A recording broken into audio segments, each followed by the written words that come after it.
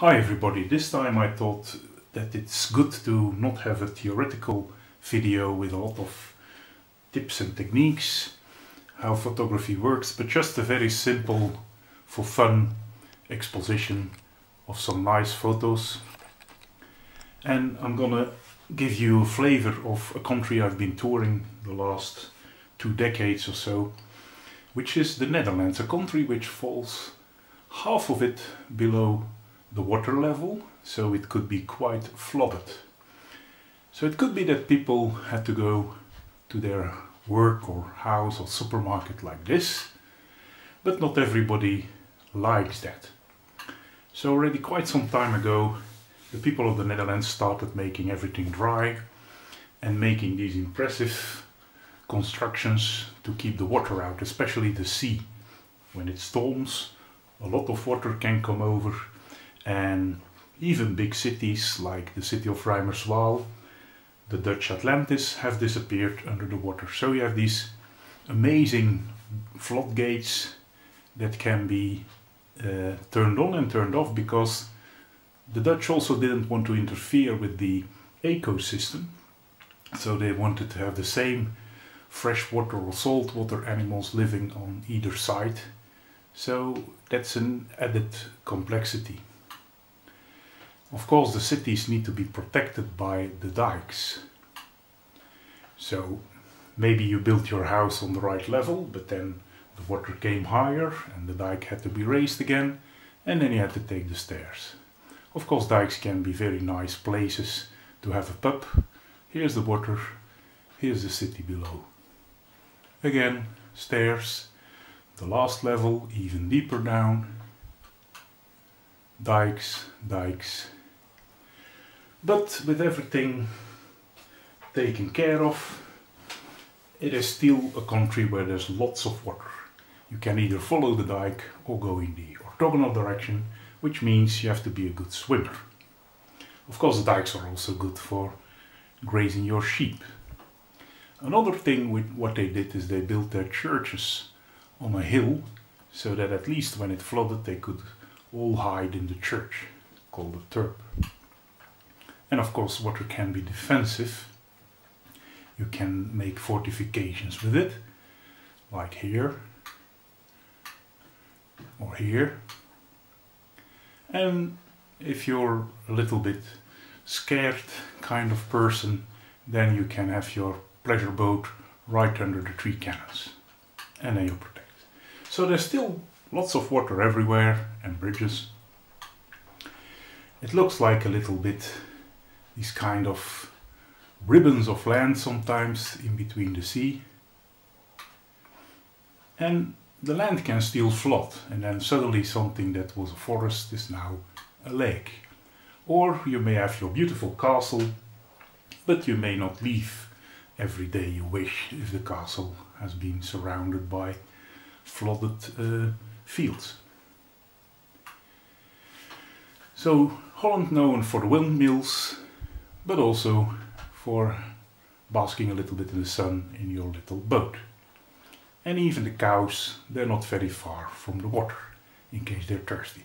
Or, let's say, some of the cows managed to get extra conditions that they have a beach holiday every now and then. And of course, water birds. This is the real swan lake. So people are living quite close to the water in many parts of the country, which creates interesting environments. Water in your backyard, water is your view. In fact, where does your garden end? It's where the water starts. The church near the water. Also the cities, of course, they have rivers everywhere. Even if your boat is low enough, you can sail under the town hall in some places, or like here, under the houses. This woman is meeting her friends or parents or whatever, a chat across the moat. Maybe if they're nice, they will lower the drawbridge. And people have their private bridge. Like here, in case you always wanted to own your own bridge, then this one is for sale. so just go buy it. And you can even park your car, of course only if it's the typical orange Dutch car you can park on the little bridge, not if you drive a big truck. More houses, they have direct access to the river for a swim. These kind of bungalow houses. Even the place selling the fries at the end of the pier where the land ends and the water begins. If you're thirsty with your fries, just take a sip of water. And instead of a car, maybe it's good to have your little boat. Everywhere people have a boat. He has a boat, the neighbor across has a boat, you either have a boat or maybe a floating terrace. Then you don't have room for the boat, but okay. You get these little harbors even in small villages, looks like little Venice. You can come to the restaurant by boat or to the pub. I don't know where they are going. Maybe for a nightly stroll by boat, who knows. Instead of a garage, you just build a little dock and then you can have a somewhat bigger boat. And if you don't have your boat garage, yeah, then you have to park your tiny little boat between the big boys. This guy combined the best of both worlds. He made his boat in the shape of a Dutch clock. And if you really don't have much money for a boat, just buy a 10 euro or 10 dollar one in the supermarket, an inflatable one, and that's also okay. Of course, neighbors can chat on their boat. Of course, you're also allowed to have a car, but mind you, then you shouldn't come home too drunk when you park it, otherwise you may find it becomes a boat again. And a lot of people even live in boats. This used to be a problem that there was not enough houses available. And nowadays it's interesting for taxes or other interesting reasons. They even have all amenities, electricity and whatever. So you see that in certain places you have two rows of houses, the normal houses and the boat houses. And the boat houses usually have the number of the normal house with a letter appended to it. Here this starts looking like a real house on the water. Somewhere in the middle of nowhere you can build your house. No garden with a houseboat, no problem. Just put another boat beside us and you can put a garden on that. Here even the children can play on the boat. I wonder how much times they make the swing go a little bit too high and they end up in the water here. And of course, even if you live on a boat, make sure you have your tiny little boat to go shopping. There's of course a lot of specific water infrastructure when you live in a watery country. Like these typical bridges we know from Vincent van Gogh. Here we have another one. People have to wait. Here we have another one. This one is so rare that it doesn't even have its own uh, traffic sign. You don't have this cantilever bridge, but it's an elevator bridge which goes up and down. Here again, people getting out in the lock, waiting. And the locks are also sometimes quite interesting because they have a road at the front and a road at the back and then the road can close again. So when this one is open, people are just using the other road at the back. And when the other one needs to open, they close this one and you don't even have to wait. Except when you're a boat. Here's another one. And here's a more impressive one for the big ships between one part, uh, the freshwater part and the saltwater part. Or, if there's no bridge or anything in the vicinity, maybe you have to use these little boats. Traffic signs for boats. This is even a floating petrol station for boats. You just sail by here, take your petrol, if the water goes down, this goes down, if the water goes up, this goes up and harbors. Harbors everywhere. Harbors with windmills. Old, nice, cozy harbors, hundreds of years old, like this one, or this one. Other ones more modern, we still have harbors, they get ever more modern. And the big ones like here. And even in a small town where you don't have a harbor, just park your boats and make your own harbor. by the side of the road, uh, sorry, the side of the river. And you sail out your harbor. Of course, you can work with the water. The port of Rotterdam used to be one of the biggest harbors in the world. Now some of the Chinese harbors have become big, but it's still one of the biggest. You also see lots of uh, business traffic on the rivers everywhere. And of course you have even in little towns or villages a shipyard to repair some of the boats.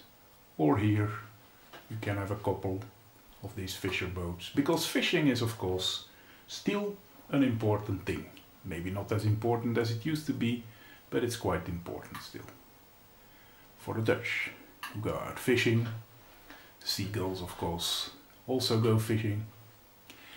And then you see that you uh, you can do a 180 degree turn into your parking space.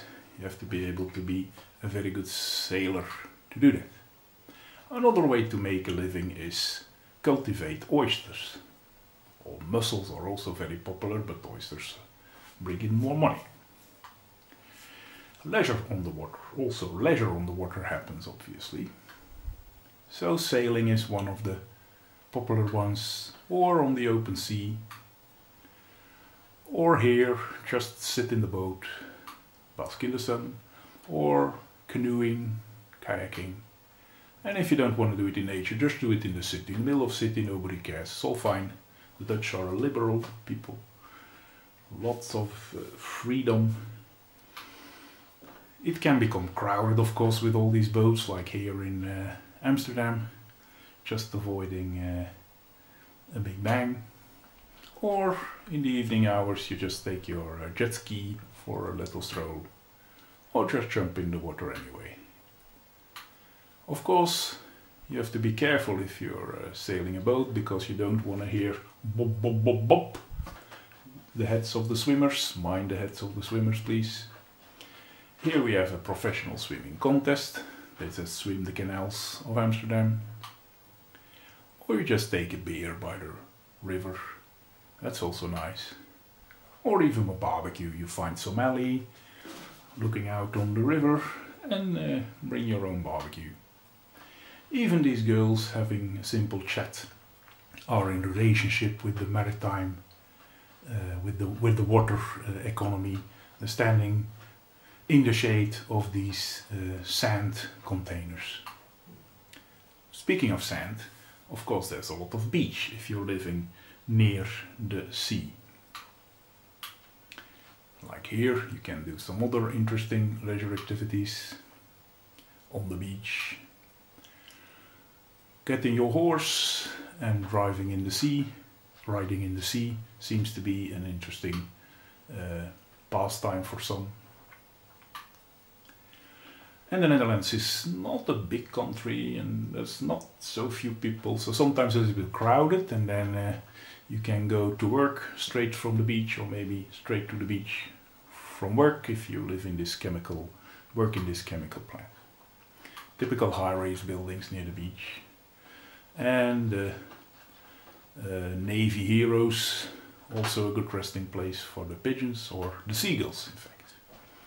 So we go now in the more nightly looks of the uh, Netherlands watery environment, which means that we came that we come now to the second part. We talked about the sea, we see here the sea, we see an internal sea, we see islands, and we see here things which interlock kind of like fingers with the sea.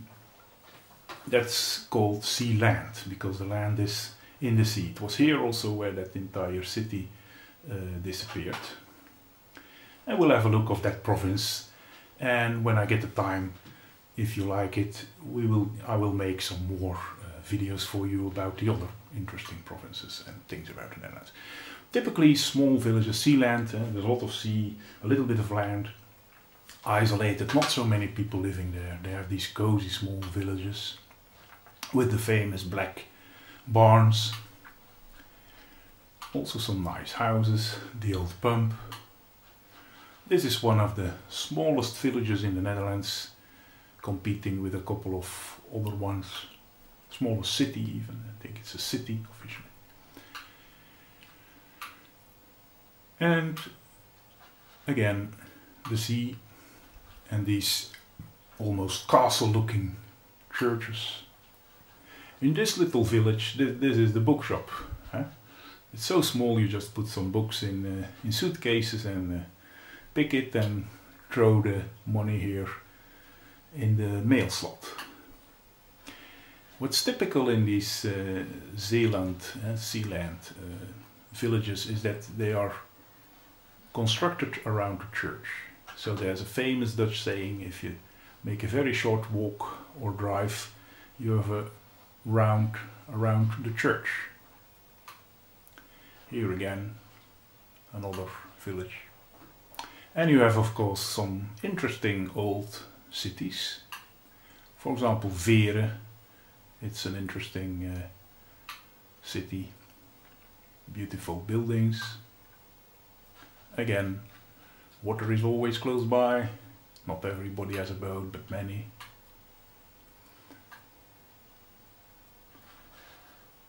Here, Middelburg, it's the capital of Zeeland. Nice small streets you have. Zierikzee, another quite interesting city on another one of the finger islands, which are now somewhat connected, so they have become a little bit half islands. This guy sells a very famous uh, Zeeland delicacy, uh, a candy, sweet, and it's called Zeeland Turds because it has the shape of a turd which turned right out of you know where. Anchors in the city. Again, bridges. One of the gates of Zierikzee.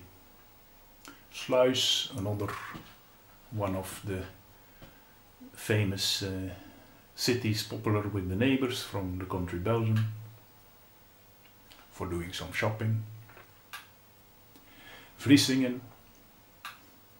And that's it for now. So if you like it, um, tell your friends via Facebook or whatever. The keywords are Menhir Photo Professor. For this specific one, the Netherlands Digital Photo Expo and Sealand and uh, I'll see you the next time for again just a fun video or a very interesting course about color or whatever. Bye guys, see you.